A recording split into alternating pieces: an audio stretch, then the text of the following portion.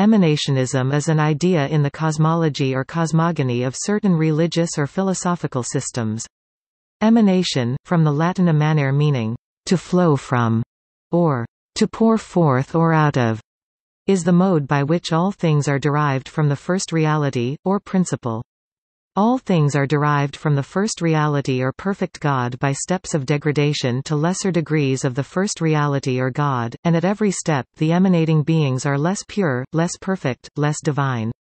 Emanationism is a transcendent principle from which everything is derived, and is opposed to both creationism wherein the universe is created by a sentient God who is separate from creation and materialism which posits no underlying subjective and or ontological nature behind phenomena being immanent.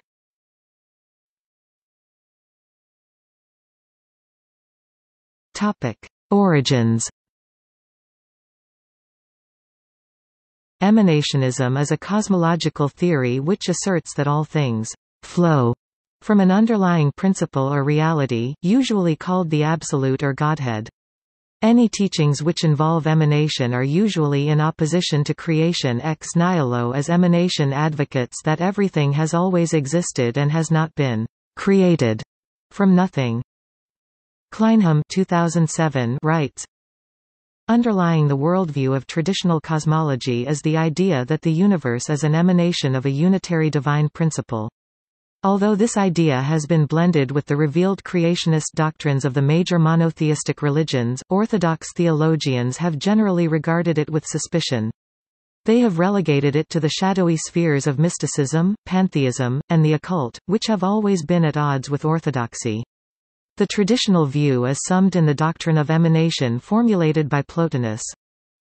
The primary classical exponent of emanationism was the Neoplatonic philosopher Plotinus, wherein his work, the Enneads, all things phenomenal and otherwise were an emanation Greek, aporo aporo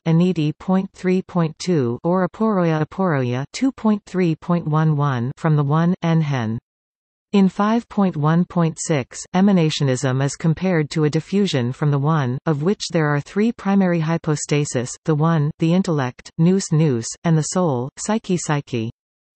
Another advocate of emanationism was Michael Servetus, who was burned at the stake for his non-Trinitarian cosmology.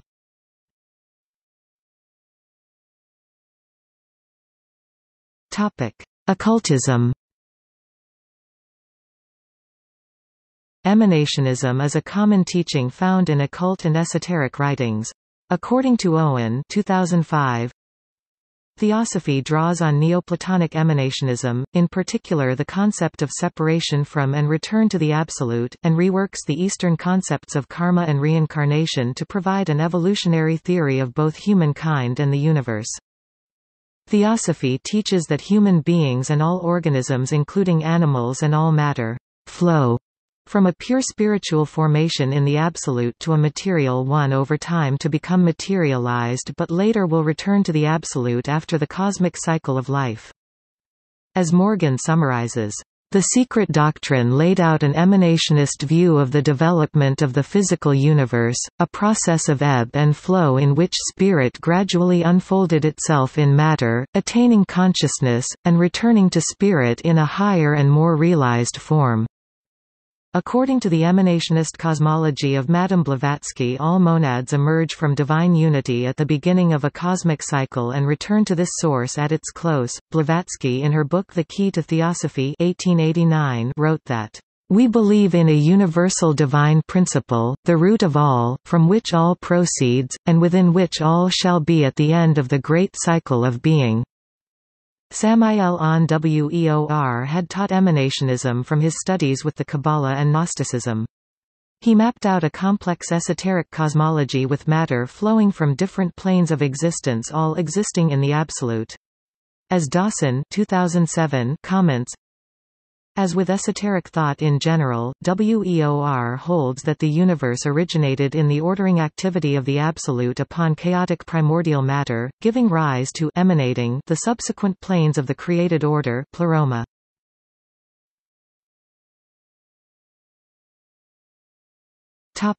See also. Anathem Jerusalem the emanation of the giant Albion Panentheism Aeon Gnosticism Emanation in the Eastern Orthodox Church